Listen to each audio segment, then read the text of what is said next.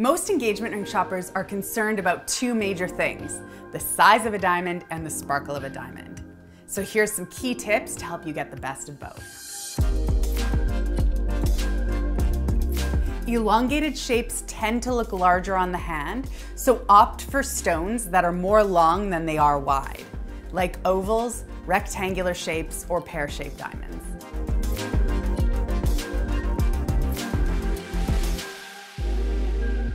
Opt for a halo, which is tiny diamonds surrounding the main stone so that the diamond will look larger and more sparkly. Choose a more minimalist setting so that all the attention can go to the main stone. So thinner bands or smaller prongs that hold the diamond. By now, you should have a good sense what to look for to get the best size and sparkle out of your diamond. And if you're interested to see some more styles, go check out the website.